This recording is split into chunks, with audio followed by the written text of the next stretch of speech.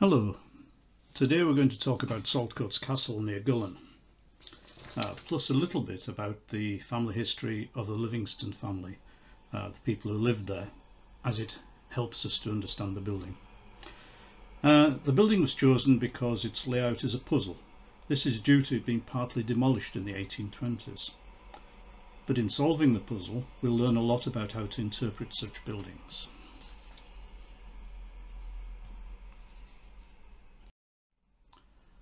So the things we're going to look at today, brief summary of the existing material and there's not a lot of it and most of it was done about 100 years ago.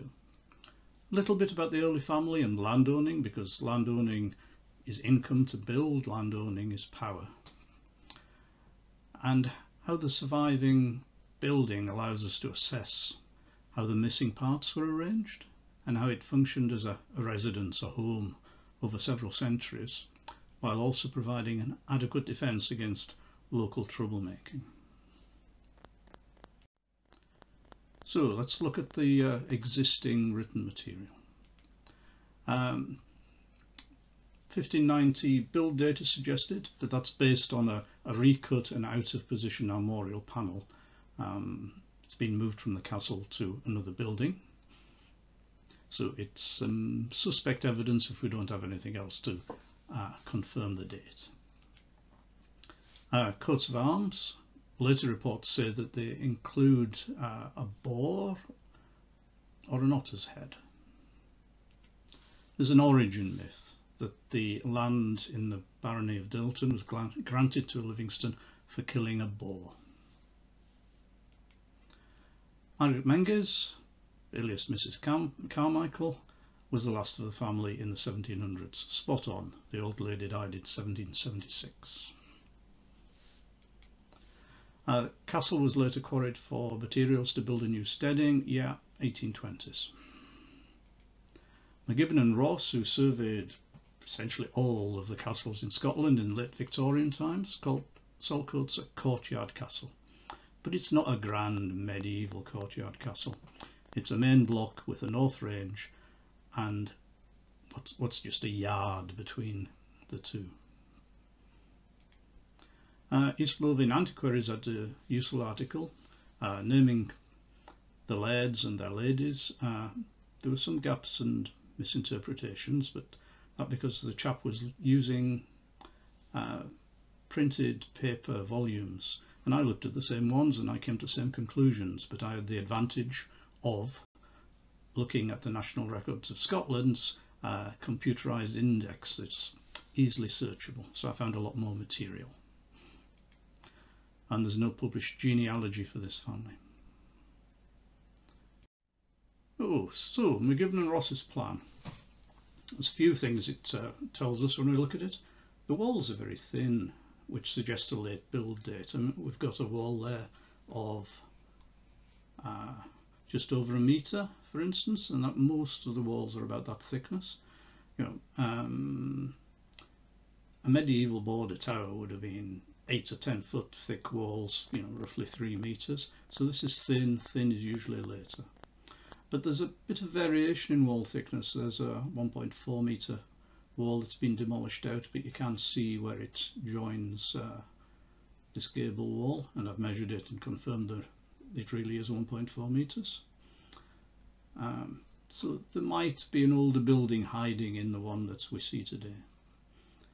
No garderobe shoops, no toilets. Um, that suggests after 1570s when they were using simply a, a closed stool, a bit like the sort of thing you used in when you were caravanning in the 50s and 60s. Uh, basements vaulted, that's normal openings in the wall. There's, there's a variety here. We've got a slit window, bottom level, you'd expect that, and then it splays out to light in. Uh, slit window, splays. Then we've got a slit into a rectangle, which attracted my attention, and a much wider window, which I suspect is a slit that's been knocked through later when they changed use in here. Uh, but it has got some iron bars or hard iron bars uh, to maintain security. Um, and the kitchen, you notice the kitchen is across in the north range and we'll talk about kitchens in some detail later on. So, looking at it from the air, that's the track coming down from Gullane. That's two towers of the castle and a south wall. This wall here, it's essentially a garden wall, it's not a defensive wall, and this area was the gardens immediately around the castle. That's the steading that uh, was built with some of the demolition stone from the castle, uh, as was that building there, and that building there has the armorial panel built into it. So, after I'd been for a walk around, I sat down on a, a stone next to the castle and I wrote out a list of questions. And these are they, and we'll, uh, we'll seek to answer them as the presentation goes on. So, how long had the Livingstons lived in the area? So, genealogy, if we can find some, might help, heraldry might. And if they are an ancient family, where did they live before this build, if the build is 1590?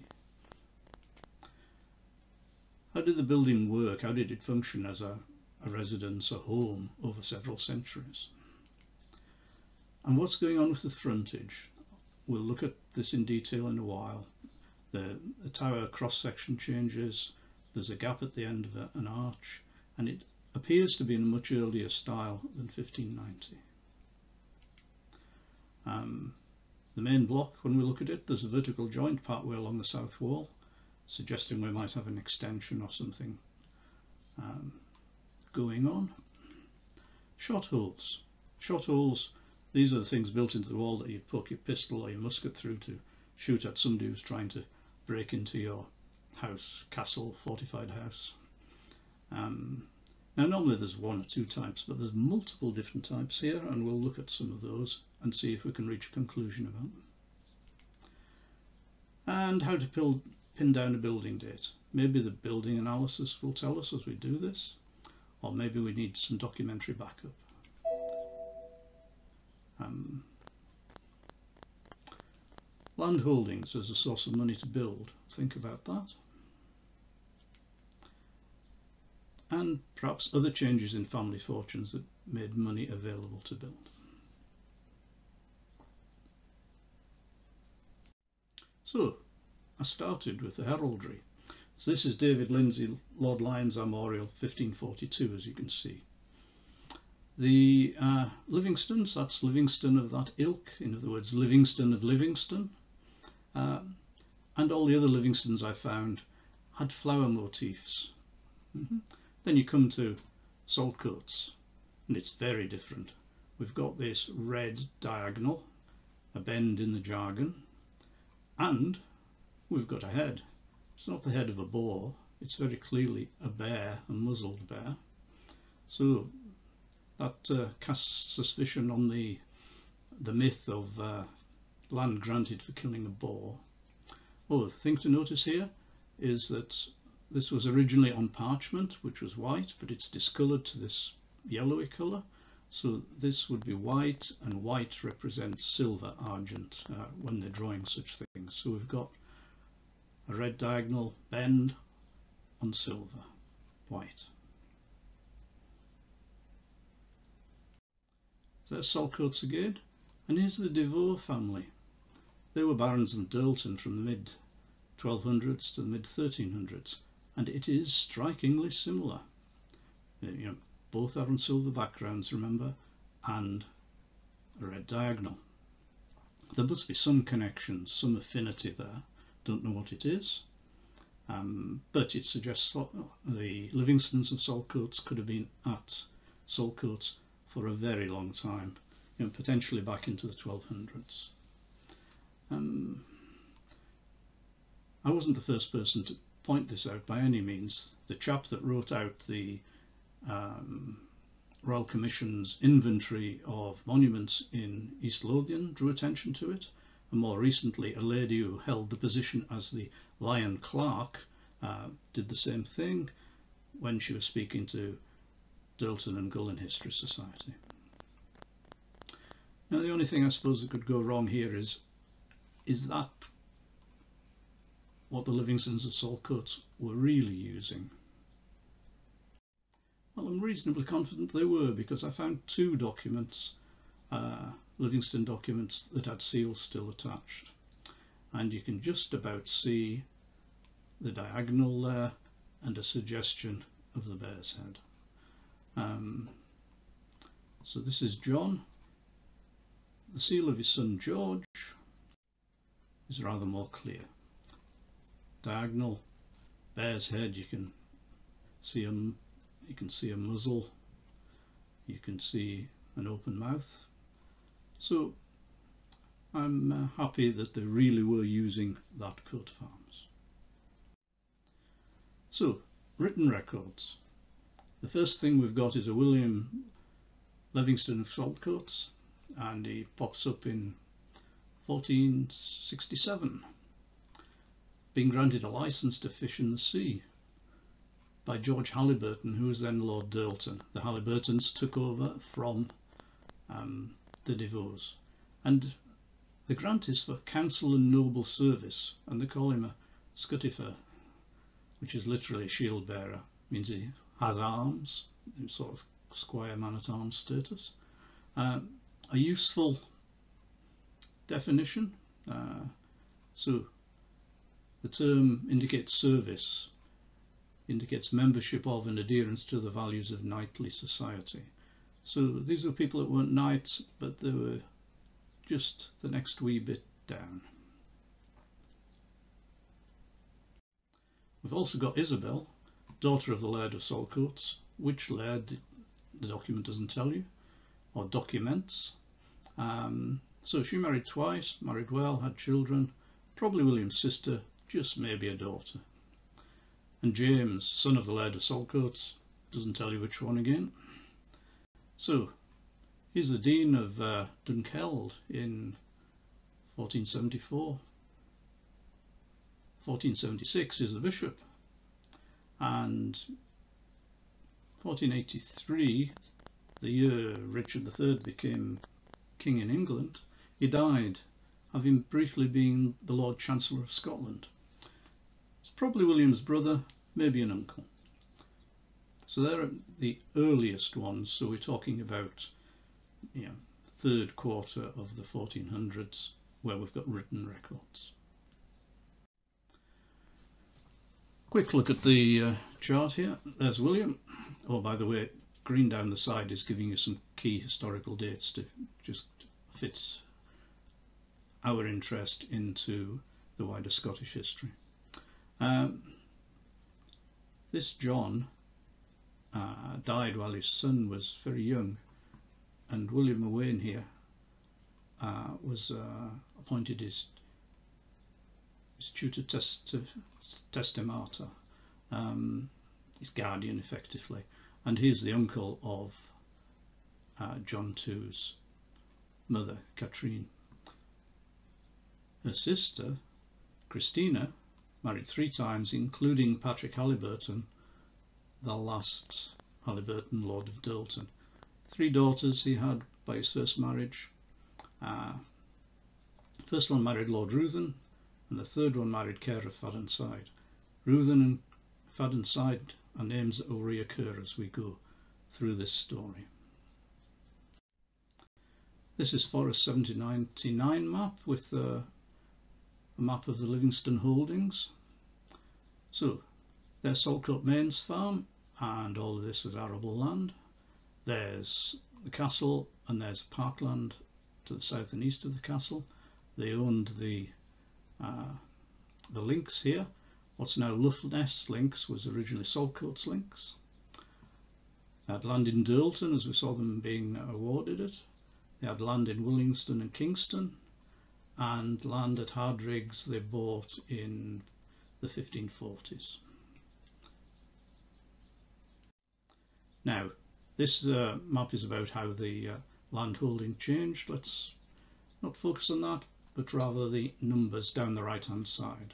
So the Mains farm, 161 acres, large amount of links. All the other arable, we saw at the other locations, uh, 438, all rented out, uh, giving an income clearly. Uh, total arable, essentially 600 acres.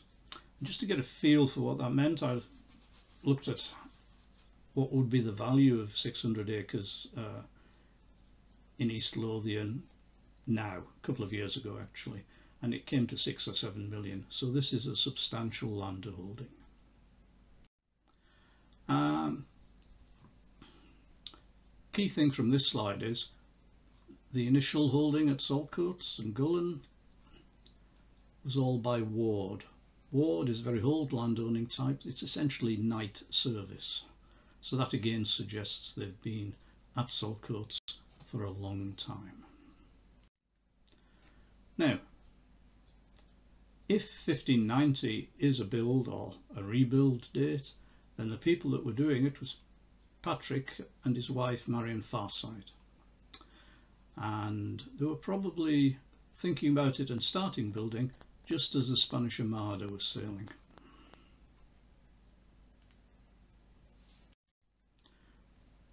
So we're going to go for a walk around the castle and see what it tells us. Here's the frontage. And it's what makes it more than just a fortified house. It really is looking quite martial, quite medieval. And it mimics a medieval gatehouse, you know, two towers, they'd be much bigger on a medieval gatehouse, and they'd have a gate in the middle. We haven't got a gate in the middle, uh, the entrance is actually around the corner there. Uh, but it's giving the impression of a medieval gatehouse. Um, it's a device that's used many places. Um, for instance, a number of Irish tower houses uh, use a, a gatehouse form. Uh, there's some asymmetry in the windows here. We've got three this side, four that side. Ah, not unusual, but there's usually a reason for it, so we'll bear that one in mind. Shot holes. You can just see a one there and a one there. Various types, some of them quite decoratively carved, intended to impress. We'll look in detail shortly. Ah, you can just see some remains of the flat roof drainage at the towers and arch poking out.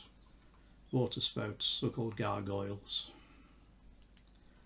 And what attracted my attention as an engineer was that gap that's opened up between the arch and the south tower. And the cross section change yeah? Round to square at first floor level. So how uncommon or common is that? Does it suggest dates? So let's look at the arch. See what went wrong. Now the way you normally build an arch is you're coming up with your tower. It's got nice squared stones quoins on the corner you get to the point where you're going to spring the arch and you build the arch supporting it and then the stone comes all the way across coast to the arch. You go to this side and you've got nicely squared quoins and you've got nicely squared quoins above as well. And somebody's had to cut one of those stones to cut the arch in and then they've just infilled and butted all this stone up against the tower rather than it being securely bonded together I can only see two reasons for this. The first one is maybe the laird changed his mind and said, I want an arch, it on. I think that's unlikely. I think it's more likely that some master mason left his guys working and said, stop when you get the height we're going to spring the arch. Came back two days later, three days later, and was upset to find they'd gone too high. So they got two choices. Demolish part of the build, expensive, or go for the bodge fit. Cut it in like that. And to be fair, once it was held, you wouldn't see it. But over the years, that weak point, as uh, the tower has settled, has pulled apart. So, the uh, tower cross-section changes. There's a picture from Canmore, round all the way to the top, Claypotts, and then they, they square it off. Um, dates are there. This is a picture I took at Burleigh, round to square again, slightly later date. Larger diameter, gives you a nice room space, but it makes it squat and clumsy. do think the Saltcoats towers are more elegant, although the room sizes are quite small. So, the round to square was about in the third and fourth quarters of the 1500s. So, openings at the base of the tower, right there. You see that? That looks like that. It's a quatrefoil, it's got four lobes. Nicely carved shot hole. And then we've got another one. We've got that, which is this one in a dumbbell shape. They're normally uh, up to about 1580. These ones later more decorative. Quite different though, and it's different to the stone that the others are cut out of. Makes you wonder whether there's some recycling going on from partly demolished uh, works on this site or from another site. Um, and clearly they had more shot holes than they needed because if you look above the dumbbell you can see two halves of another shot hole that's just been built in to the tower as normal building stone. It would have looked like the one in the bottom right.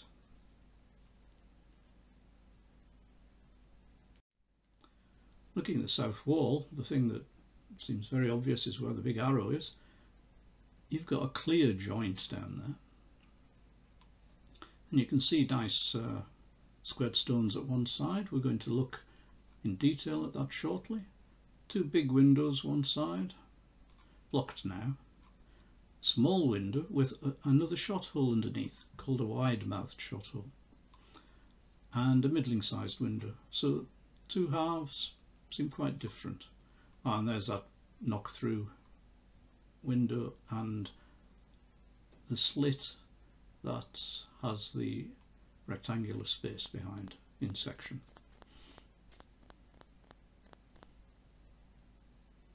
So let's have a look at that in more detail. So you can see a nice clean edge squared uh, quoins, cornerstones again on that side and then this side is just butting up against it but it's not squared stone. And somebody's tried to stitch two halves together so that the gap didn't open up. They've knocked a quoin out and they put a long stone across there. Knocked a quoin out and put another long stone across there. That's where the rectangle is behind that slit and you can see the wide mouth shot hole in more detail there. To the left of this we have the larger windows uh, and the back of the towers. So that's the back of the tower, there, the south wall and the tower bonded together, it doesn't butt. There's a lot of overlapping going on between the two here. The bottom of the stair turret sits across the the tower wall and the south wall tower uh, so that suggests that that was built in a one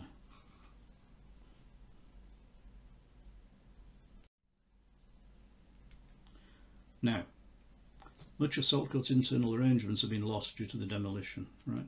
So we're going to look at some key features of medieval domestic buildings before we attempt to interpret the clues we've got in the remains of Saltcoat's internal arrangements. Now these two next two slides are quite busy, but I'll take you through them and it's information that we can directly apply to the building as we go. So, top left, medieval hall.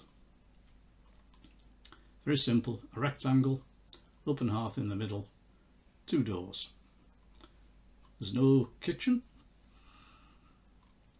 uh, there's no food storage areas. Reason for no kitchen is usually given as fire risk. Uh, sometimes noise and smells are quoted as well, but the kitchen is elsewhere. If we go to the bottom left, a development, we've still got the hall with a, an open hearth. Now we've got a screen here to screen the hall from the wind in the winter time, say when the doors are open and that's called a screens passage and you can walk all the way through if you need to. And at this end we've got uh, a private space for the Lord uh, called a withdrawing room, a parlour, solar, various terms, but it's the Lord's private space. Yeah? And at the lower end we've now got a buttery and a pantry. Buttery as in butts of wine or butts of beer barrels. Yeah? Uh, pantry is coming from pain, bread, but it's uh, dry foods. Kitchen, kitchen's still somewhere else on the site. In the middle, we've got another refinement. There's the hall. There's maybe a, a dais, a raised area for the Lord's table. This solar behind. There's a screens passage still, buttery, pantry, but the kitchen's tagged on as well. So here's a real example. This is Aydon Castle, which is uh, down sort of on the Cumberland Northumberland uh, border uh, on on the Roman wall, Hadrian's wall. So we've got a hall, we've got a solar, we've got a kitchen, we've got the remains of some screens and another room, and it looks like that outside. And these are English Heritage's uh, pictures I'm using. So the cutaway here uh, perhaps gives us a better feel. There's the open fire, there's a louvered vent to take the smoke away, there's a Lord's High table, there's his solar behind. Essentially it's a bed sit for the Lord, a private space. Now, these, these arrangements that we're talking about hold for even very complex buildings. If we go across here to this one, we've got a great hall still. We've got, calling it a parlour there behind. We've got a screens passage that also allows you to move between the two courts. We've got a pantry, buttery, kitchen. So these domestic arrangements hold good for all sizes of uh, medieval gentlemanly and above uh, building. Uh, and even in a little border tower, you know, you put the hall on one level, you put the solar on the next level up. The basement, well, it might be a storage basement or uh, maybe sometimes later a kitchen's moved in, uh, but often the kitchen was elsewhere. If you're interested in border towers, Smailholm is a wonderful example and there's a detailed but very readable report uh, that explains the various uh, levels at Smailholm and where the kitchens were external to the tower. So, and this is why we needed to do that, because the whole of the insides has been demolished. But there's quite a bit you can work out. So, the entrance area is there, uh, you can see barrel vaulting on the ground floor. You can just see the trace of the vaulting line. You come through that entrance, go under that arch, you come up a stair in the round section and out at this level. And that's uh, been lit by those two big windows we saw on the south side, plus the ones in between the towers. Um, I've called that a hall level, and we'll discuss the reason why it's a hall level. You could go in there up to the next level and come out on a bedroom level. And there was some heating up there. Difficult to see but that was a fireplace and a flue that's broken out.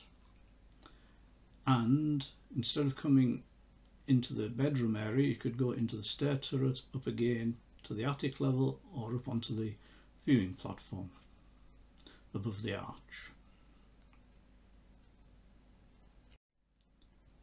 Um, Let's look at the entrance area in some details then.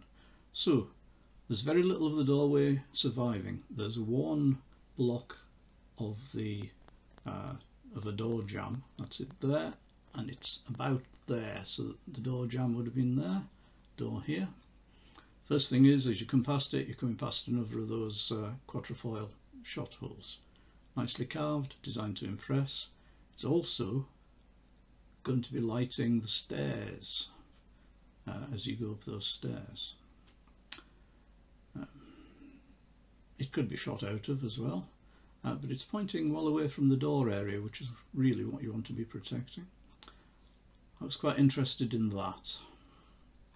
That is that and with thinner walls and better firearms you used to get these uh, from about 1580 people have suggested and if you simply poked your pistol into the other side of that hole it's arranged so that you're automatically firing into the door area to uh, discourage anybody who's trying to knock it in or perhaps set fire to it.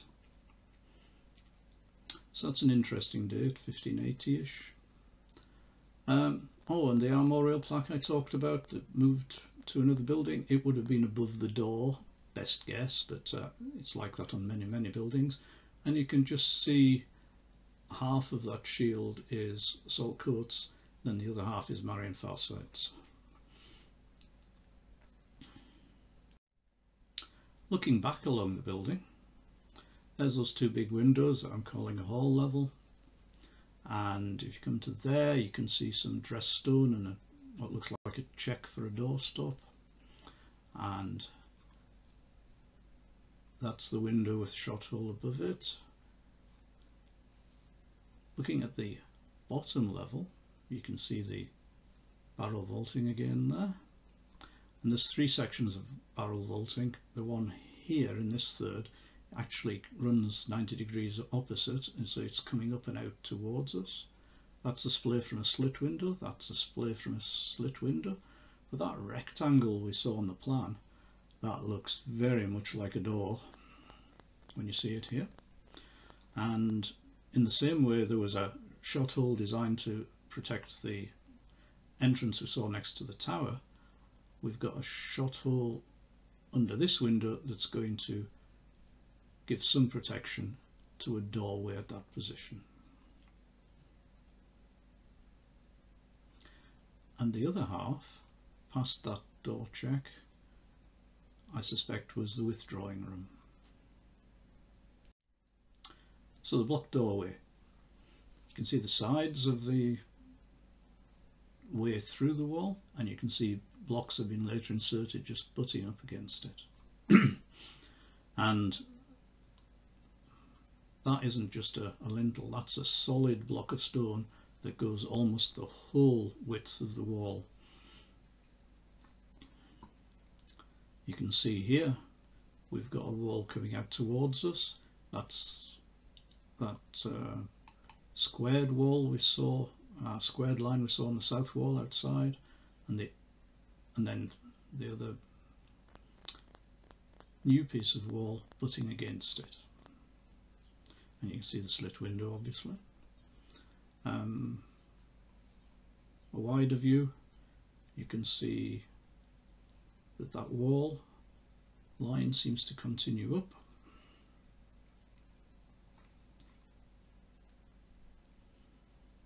So we've definitely got a blocked up door. Why we didn't see it on the other side? I think it's partially because there, if there was decorative stone around the entrance it was very thin because that is really what's holding it up, this giant slab of stone.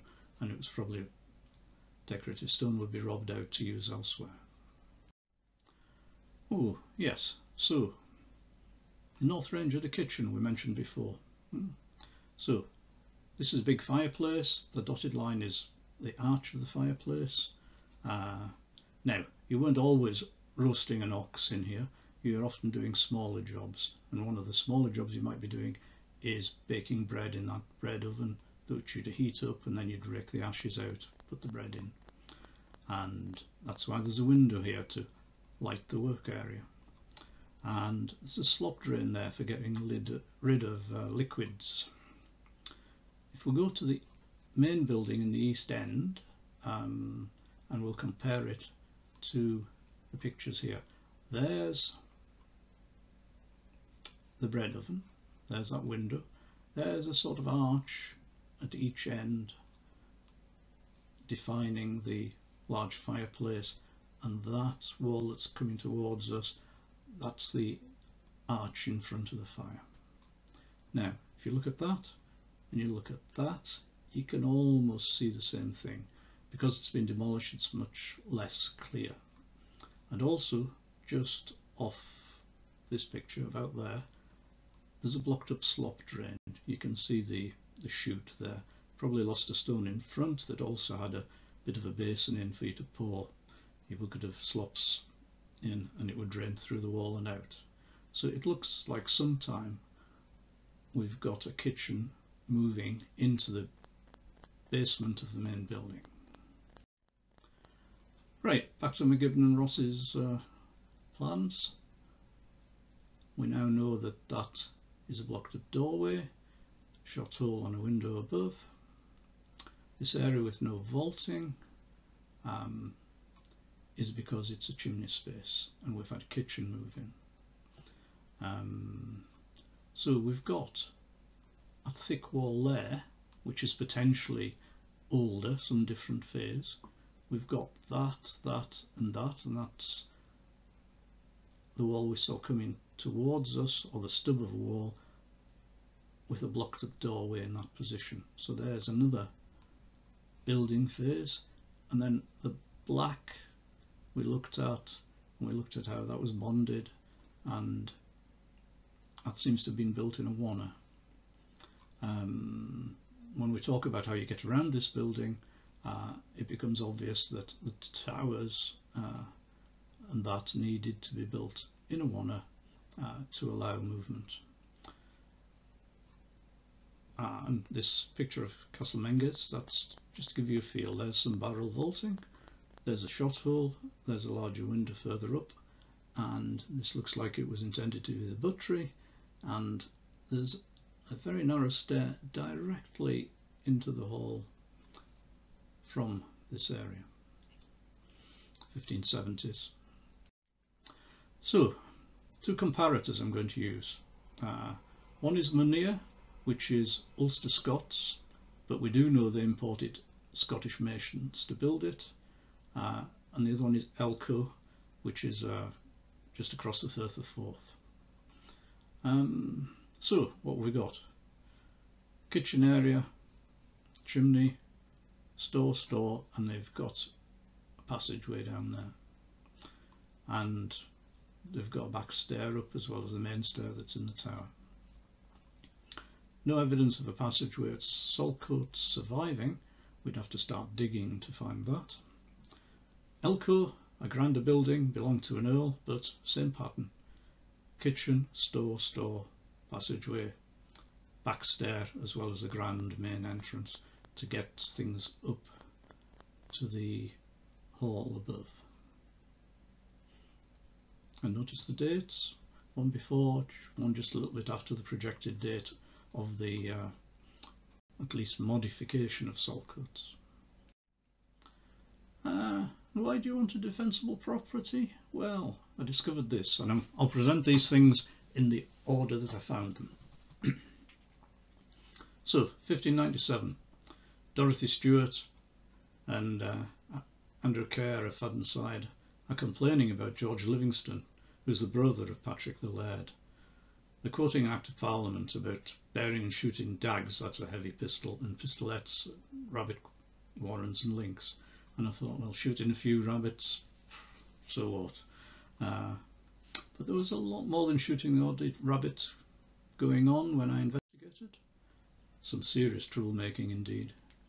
So George and many others were at the links with long hagbuts, in, in other words muskets and pistols, day and night slaying the rabbits as charged, destroying the tenants growing corn with their horses, that's rather more serious, brags and provocations, violently intruding themselves on the house of the complaining tenant.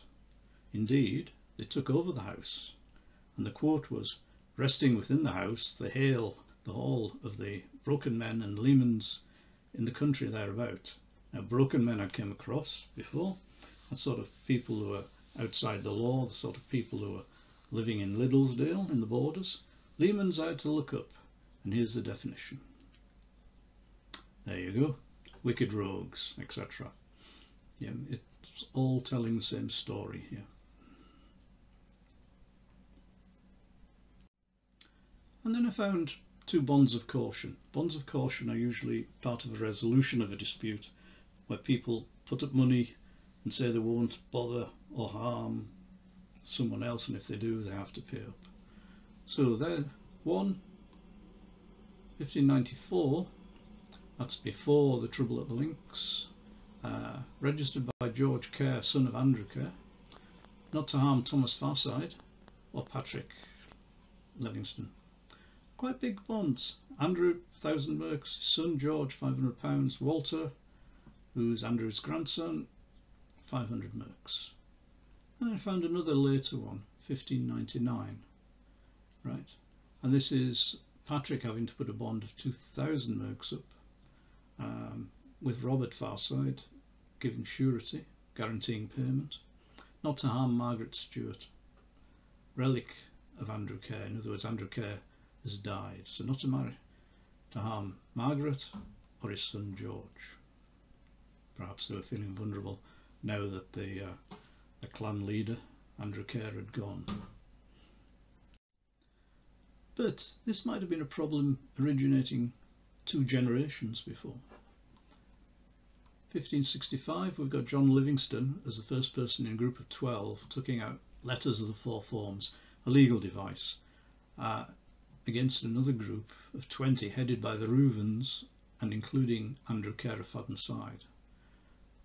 And the charge was refrain from molesting the complainers in possession of their respective lands and in the common commonality, in other words, the common lands in around the South Lock of Dirleton.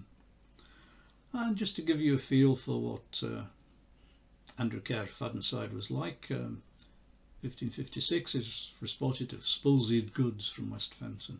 I had to look that one up as well. Is the definition. It fits Reiving rather well.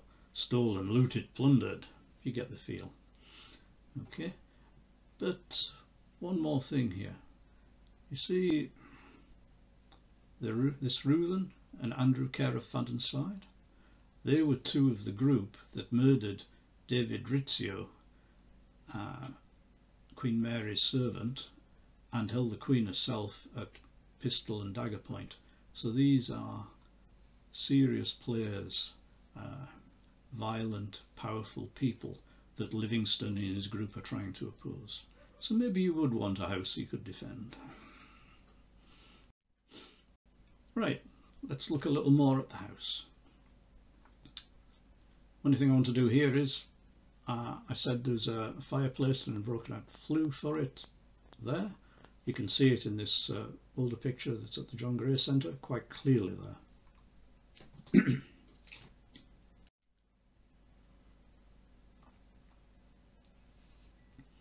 windows. Those two big windows.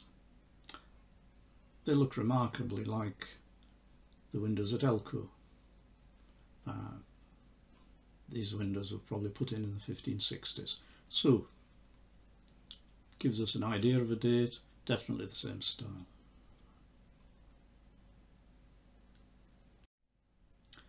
And Saltcoats again is a window. You see the little cutouts? That's uh, indicative of there being a glass, being glass in there, and the lower half isn't, so there's probably just a shutter across that. Here's a picture I took at Blackness of a Historic Scotland restoration. There you go. Glass at the top, shutters underneath. So Saltcoats probably looked like that. And uh, HES again, Elcho. This is a meant to be the main hall. And there's a glass section with a shutter to close up against it and just shutters below. So gives you a feel to what Saltcoats window arrangements were. And after all that, we should have a think about how it was all laid out. So we've got the south wall, we've seen that, big window, big window, lighting Eiffel Hall, S small window with a shot hole, other window, and you can just see the chamfer of another window in the gable end. So you go up the stairs from the ground floor, you come into the hall, you can go up the stairs in the other tower to the next floor level. Maybe a screen across there to uh, shield the hall from through traffic. Um, withdrawing room, and I suspect the door was where we saw a door check cut into the wall there. So I've given it um, a window, a window, fireplace in the middle. main feature of halls was usually a large fireplace and I've put it in the north wall, windows either side. Uh, you could have, in theory, of put it in the centre with uh, two flues back to back. Um, it's possible. Uh, it's easier to build in gable ends and side walls than come up through the building. That's usually where they're positioned. So that's what I went with.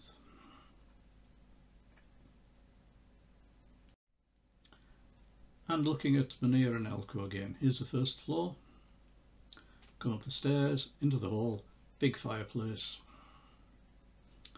You can go through into the drawing room, or the fireplace, and there's the back stair coming up into the hall that we mentioned. Big windows lighting the hall and the withdrawing room.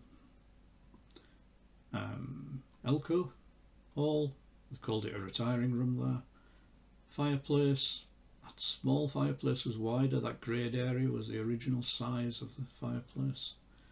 Big windows again. Fireplace in the retiring room.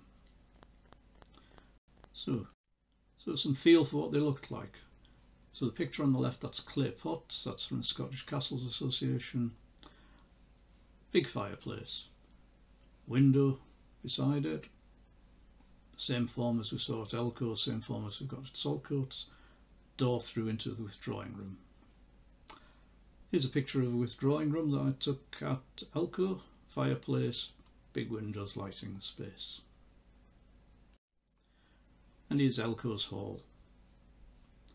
Fireplace closed in a little bit now. Uh, and there's HES's representation of what it looked like also. So, uh, halls could look a lot nicer, more decorative than you see these days.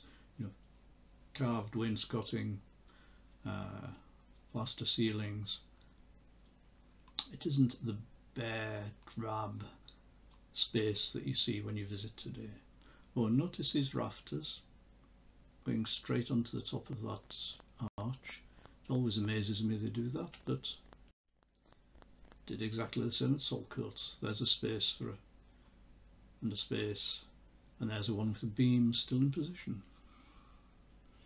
Or the stub of a beam. Now, the bedroom level above um, this is Claypotts again. So quite well lit. Got a fireplace in the same way that uh, Saltcoats had at that level.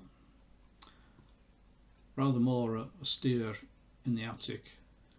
No obvious heat sources. You get some warmth from the walls, from the flues coming up I suppose.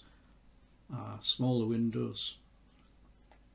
But these areas probably weren't the open plan the way they see them uh, these days because they divided them up by partitions in the same way that we put partition walls in houses these days. And it does survive these partitions in a couple of places.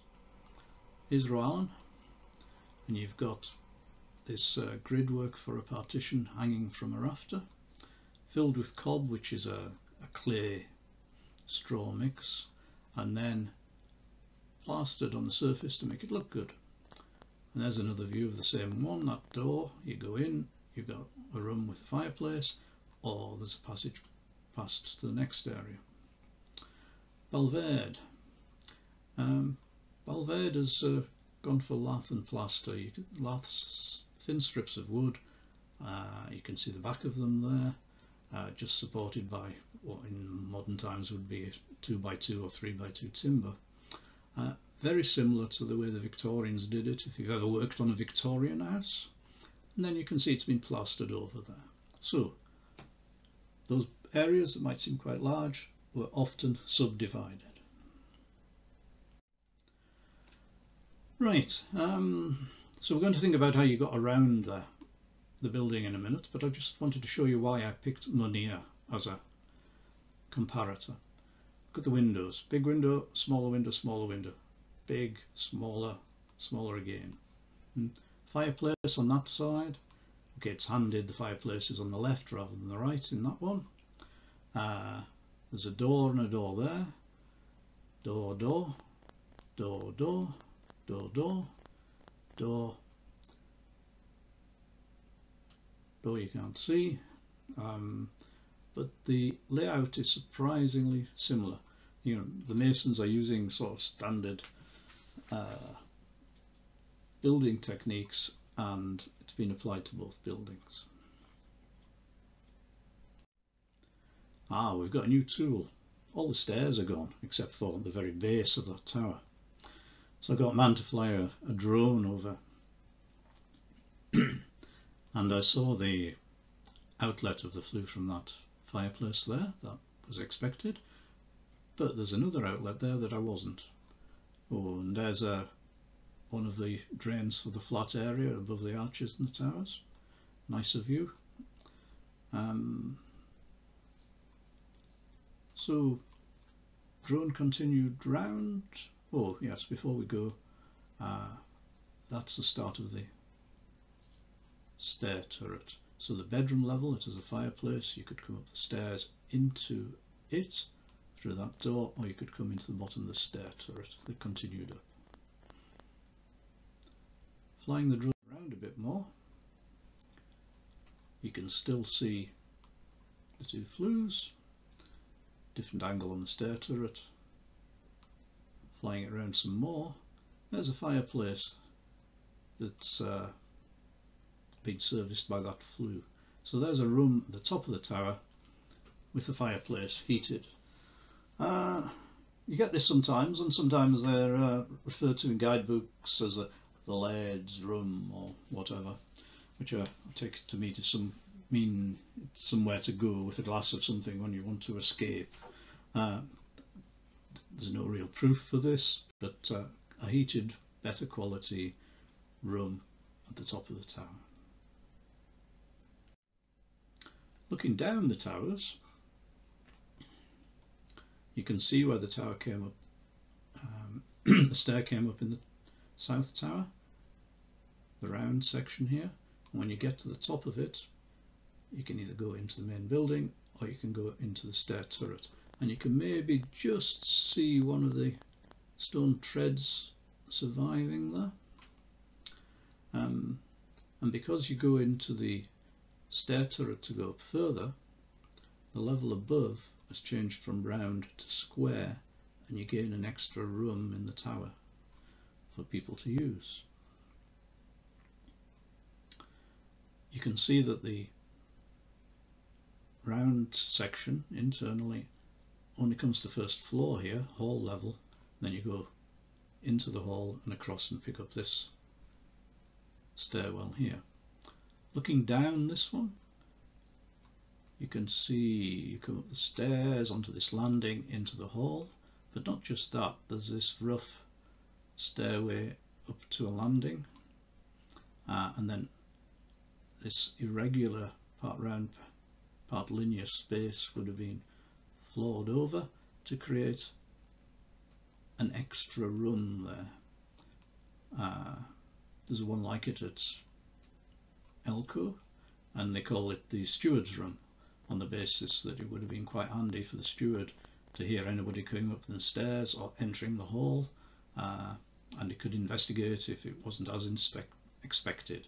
Because one of the steward's main duties was to monitor and control activities in the hall. And you can see after that it changes to a square section for a room that comes in through that door. You go up a level, you can see the wall thins, there's two ledges for laying timber across for the next floor level. That's the floor level for the room with the fireplace and a door in from the main uh, building's attic. So we've been to get some feel for how you move around this building. And here's my sketch of the uh, front of the building and some plans. So you come in the entrance that's behind there. You go up the round section onto a landing into the hall. So ground floor, through the door, into the round section of the tower, you go up, you come out into the hall and go across into the other tower. Or you can go up that rough little stair we saw into that extra mezzanine room. So there's a landing into the hall there's the extra mezzanine room taking advantage of the fact that halls are always much much higher than other room spaces almost double height.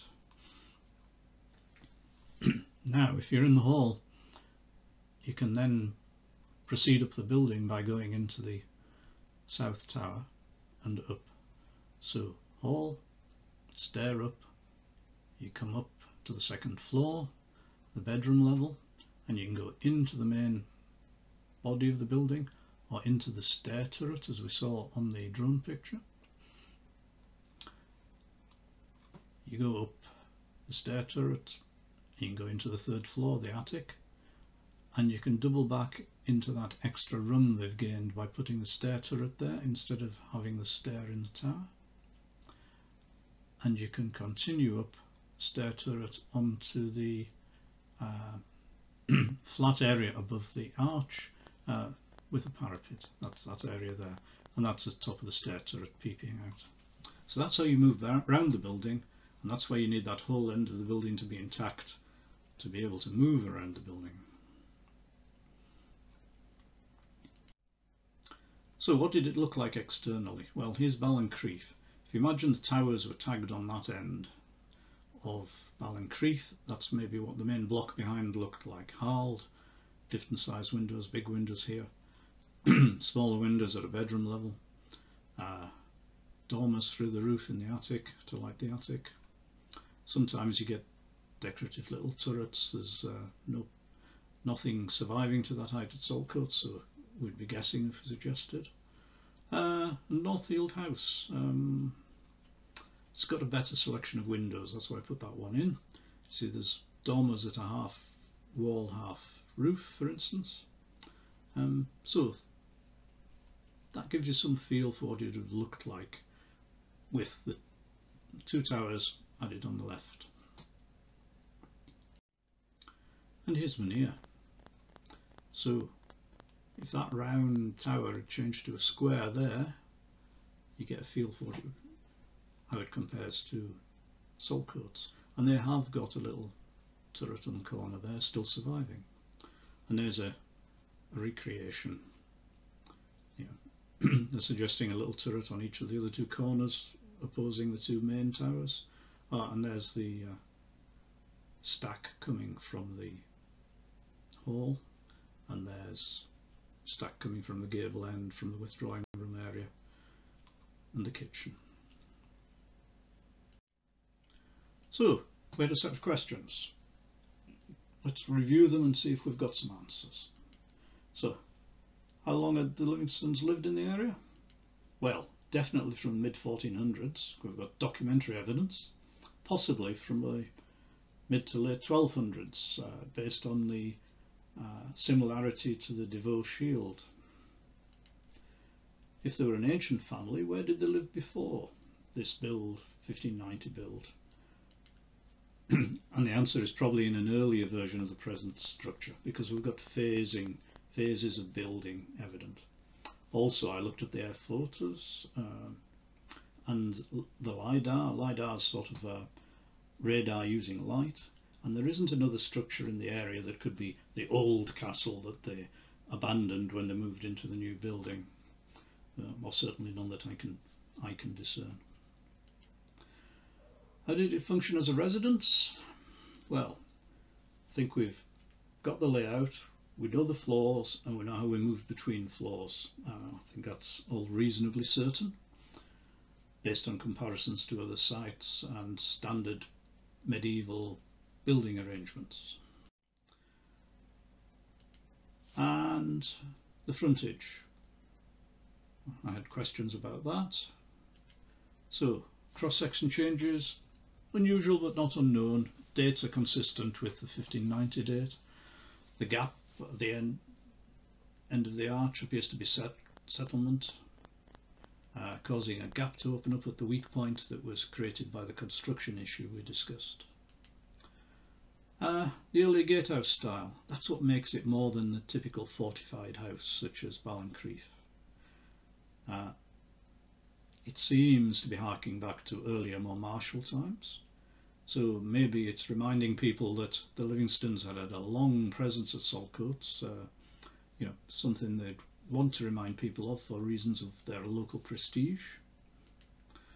Oh, the main block, the vertical joint, etc. Well, we've covered that. We've talked about essentially the new front half with the towers uh, being to the west, to the left of that vertical joint, and uh, a kitchen moving into the basement also. Shot holes.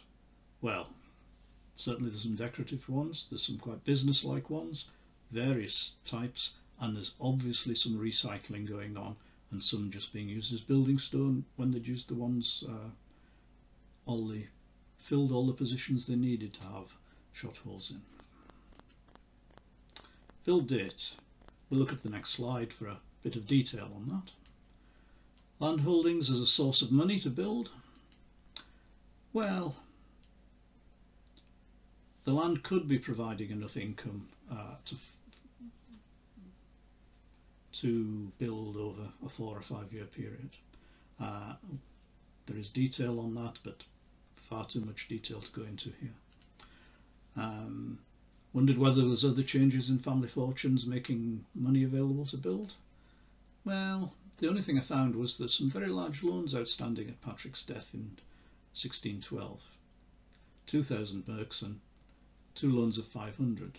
Reasons unknown, but perhaps it was a combination of money from revenue, money from the land rental, and some loans uh, to do the building work. Speculation.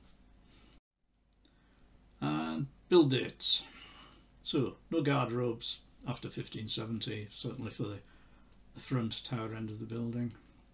Ground to square transitions, certainly they were being built in the third quarter of the 1500s. That fits reasonably with the 1590 armorial panel date.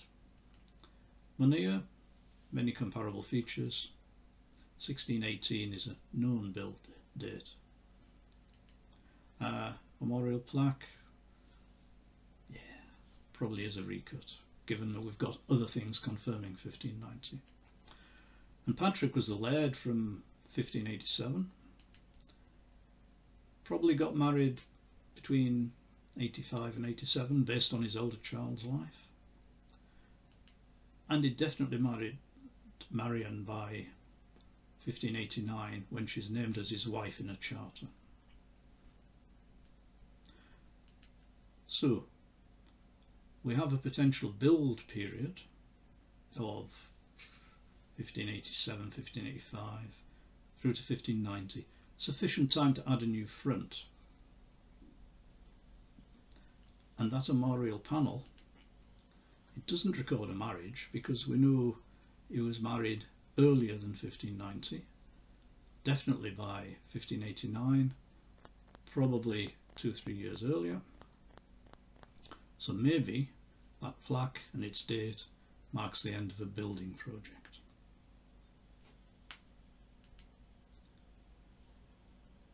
And here's a wee summary.